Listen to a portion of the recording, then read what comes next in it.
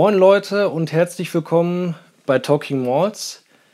Ähm, erstmal direkt am Anfang, sorry, dass jetzt im Moment irgendwie ein bisschen Videos rauskommen, aber zurzeit gibt es bei mir viel Neues, unter anderem eine neue Arbeitsstelle und dadurch viel Neues, was ich erstmal lernen muss, äh, viel Arbeit und jetzt im Moment finde ich nicht so die Zeit für die Videos, die ich gerne machen würde.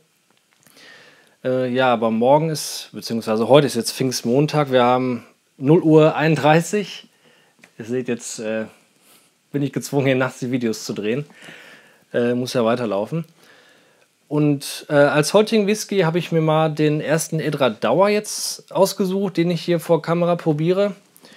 Und wie so häufig, wenn ich zum ersten Mal einen Whisky von der Brennerei hier vor Kamera probiere, nehme ich meistens den Einsteiger Whisky. Und dieses Mal ist es auch wieder äh, der Edra Dauer 10 Jahre geworden. Ich meine, das ist die Einstiegsflasche hier von Edra Dauer. Ähm, Edra Dauer an sich ist er dafür bekannt, seine Whiskys nicht zu färben und eigentlich auch nicht kühl zu filtern. Ähm, und der hier ist jetzt auch nicht gefärbt. Allerdings die Einstiegsflasche 10 Jahre ist mit 40% abgefüllt und damit auch kühl gefiltert. Aber hier Farbe sieht man, die ist schon ziemlich duster. Und die Flasche von Edra Dauer, die finde ich immer richtig geil. Die ist nämlich nicht so wie bei den anderen immer so längs, die Standard Liquor Bottle, sondern die ist ja, schön klein, ein bisschen fetter, auch ordentlich schwer und eigentlich auch ziemlich aufwendig. Und da kommen wir nämlich zum Punkt, was Edra Dauer so besonders macht. Ähm, weil Edra Dauer ist, meine ich, immer noch die kleinste Brennerei in Schottland, die Single Malt Scotch Whisky herstellt. Ich glaube, da sind im Moment welche im Bau, die dann, wenn sie fertig sind, noch kleiner sind. Bin mir aber nicht ganz sicher. Äh, ja, und das führt natürlich dann dazu, dass Edradauer sehr wenig Whisky herstellt. Also man sagt, Edradauer stellt im Jahr so viel Whisky her, wie manche Brennereien in einer Woche herstellen. Äh, und zwar haben Edradauer einen Ausstoß im Jahr von 90 bis 100.000 Liter. Und manch andere sind ja dabei 1 bis 3 Millionen Liter pro Jahr. Äh, und das macht dann im Whisky auch im Vergleich wieder etwas teurer, wobei ich sagen muss, dass das sich eigentlich meistens noch in Grenzen hält. Also ein bisschen muss man draufzahlen. Und der 10-Jährige, der kostet, meine ich, so zwischen 40 bis 50 Euro liegt der so. Aber hat man halt einen besonderen kleinen Whisky in der Hand.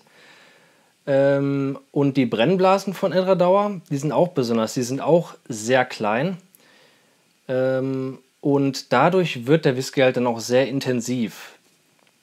Bin mal gespannt, weil Edra Dauer habe ich sehr, sehr gute in Erinnerung. Mein Bruder hatte da mal den äh, Portwood mit.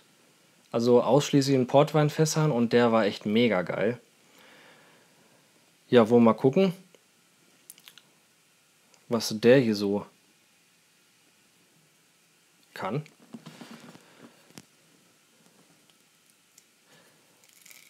Äh, den Zehner, den probiere ich übrigens heute zum ersten Mal. Den hatte ich bisher noch gar nicht probiert. Ansonsten kann man halt noch sagen, dass Edra Dauer ja inzwischen, ich glaube sogar seit 2002, Andrew Simonton gehört, also dem Besitzer auch von Signatory Vintage. Und da gibt es ja jetzt auch mal öfter bei Signatory mhm. Abfüllung von Edra Dauer. Äh, was es auch noch zu beachten gibt natürlich, Edra Dauer stellt ja quasi zwei Apfelserien her. Einmal Edra Dauer, klar, nicht rauchiger Whisky. Äh, und dann gibt es noch den Balechin und der ist dann ziemlich stark rauchig.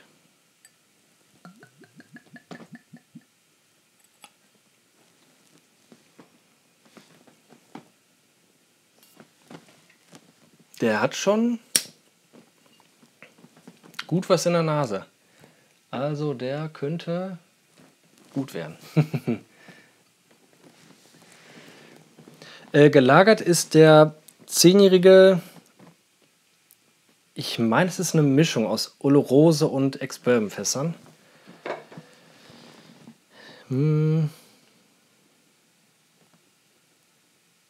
Hm. Oloroso. Stehen auch Geschmacksnoten drauf? Äh, ja. Ein schönes Aroma von gezuckerten, also ich denke mal kandierten Mandeln. Ein äh, Hinweis auf Oloroso. Und dann cremig, leichte, malzige Noten. Und dann ein schöner, warmer, ein schönes, warmes Finish. Design auf jeden Fall gefällt mir auch sehr gut. Hier vorne sieht man dann nämlich nochmal, äh, ich muss ja mit meinem Kopf weg, die E3 Dauerbrennerei, so ein schönes kleines Bildchen. Aber jetzt will ich gucken, dass ich den endlich jetzt mal probiere hier. Wartet jetzt auch schon ziemlich lange auf die Öffnung.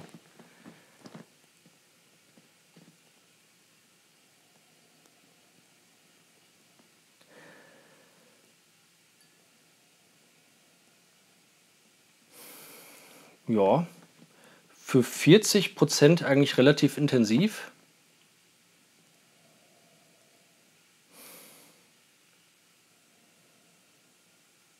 Relativ voluminös und dann auf jeden Fall schöne Karamellnote, relativ süß in der Nase.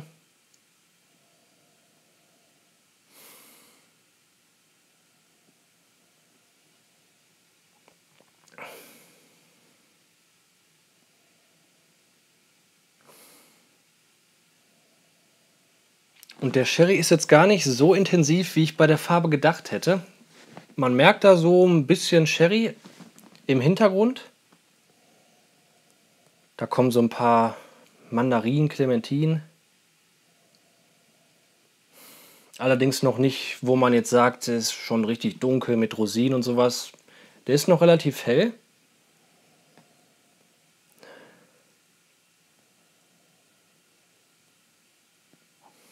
Eine Spur Erdbeeren.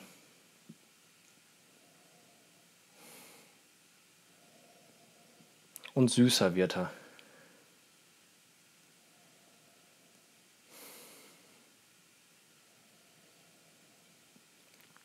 Ja, also schön fruchtig, relativ intensiv, voluminös für 40 Prozent, finde ich.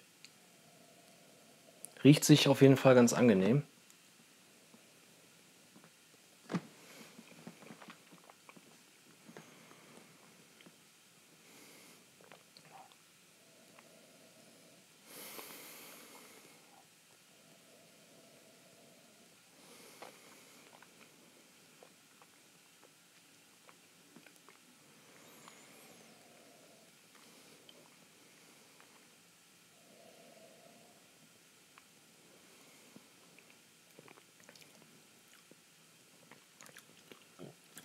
Ja. Baut da eine relativ kräftige Süße auf. Dann würzig, bitzelt so ein bisschen auf der Zunge. Sherry im Geschmack etwas deutlicher, aber auch hier dann wieder so die helleren Aromen. Wieder auch so Mandarinen, würde ich sagen. Nicht zu süß.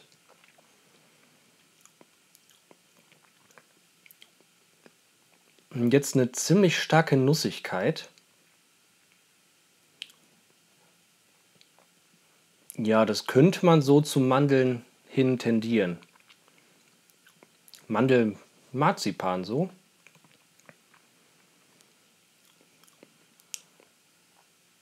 Mit einem Hang Richtung Walnuss schon relativ würzig. Aber ansonsten so Eichenbitterkeit oder sowas, ganz zart, aber nicht wirklich.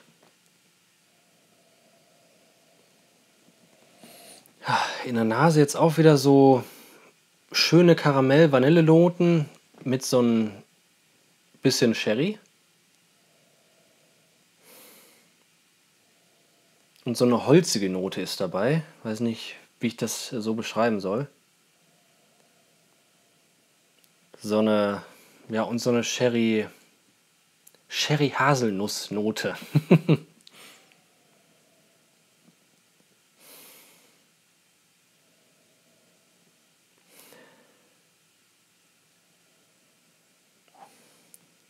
Bisschen Heu habe ich jetzt in der Nase gehabt. Süßes Heu.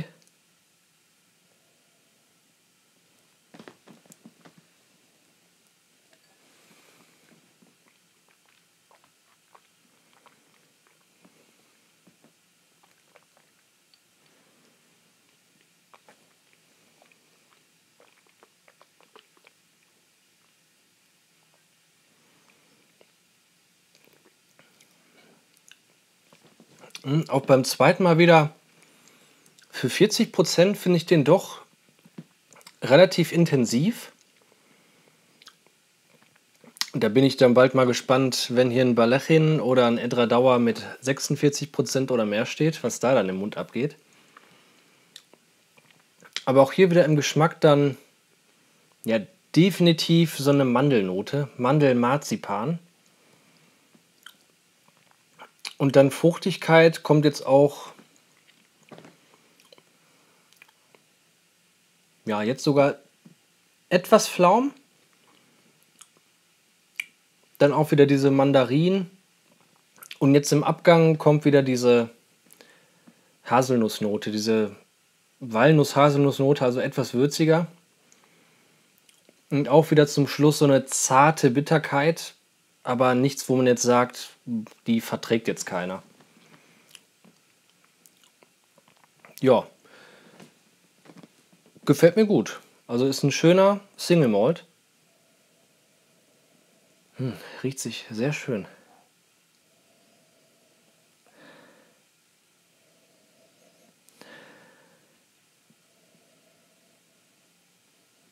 ist so eine schöne leichte dunkle Note auch dabei.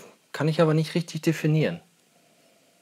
Ich weiß, dass ich, glaube ich, so eine ähnliche mal bei dem äh, Brüchledig Sherry Cask hatte. Ich sag jetzt mal so eine Sherry Haselnussnote, also sowas. Weiß jetzt nicht, wie ich das richtig definieren soll. Aber finde ich sehr schön gelungen.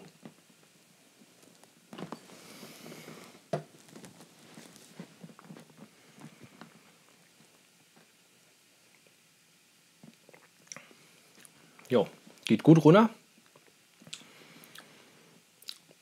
Auch wieder intensiv auf der Zunge, aber dadurch, dass dann auch im Geschmack diese Sherry-Süße kommt und leichte Karamellsüße, ist das dann doch äh, ein ziemlich süffiges Erlebnis, das man da hat. Von daher kann ich den auf jeden Fall empfehlen. Wenn ihr mal Edredauer kennenlernen wollt, 40 bis maximal 50 Euro, eigentlich eher so drunter und seid ihr dabei. Ja, dann will ich jetzt gucken, dass ich jetzt noch ein Video drehe, dass ich auch ein bisschen was im Petto habe, dass ich wieder ein paar mehr Videos drehen kann dann oder uploaden kann. Und würde mich dann auch freuen, wenn ihr ein Video einen Daumen nach oben gebt und dann beim nächsten Video auch wieder einschaltet bei Talking Malls.